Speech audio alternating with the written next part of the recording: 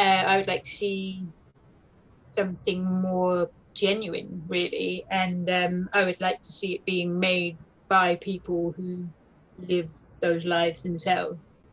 Um, I feel like for from like a deaf person's point of view, when I see things being made by uh, hearing people uh, or with like, hearing actors in them, I feel like there's just something not quite right about it. It doesn't feel like a true um, representation of what that life is like.